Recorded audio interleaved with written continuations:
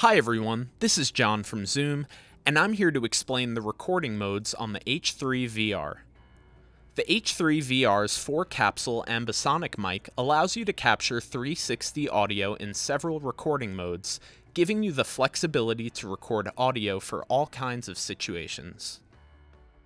Typically, when recording with an ambisonic microphone, the microphone will only output in an Ambisonics A format, which is the raw signal from each capsule on the microphone. These raw signals are then encoded to an Ambisonics B format, which can be used for 360 video or VR applications.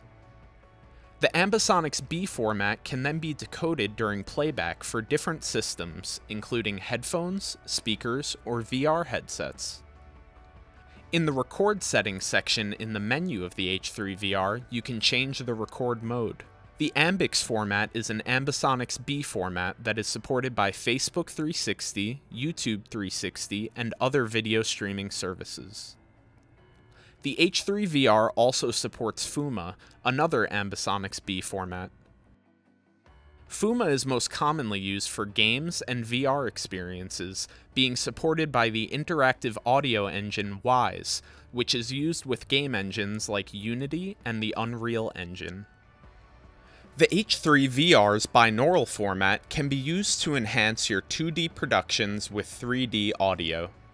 This record mode decodes Fuma format using head-related transfer functions, which mimic the frequency response of the human head and ear, creating lifelike audio in headphones. Since binaural audio creates a stereo file, this audio can be easily paired with your video on your DSLR camera.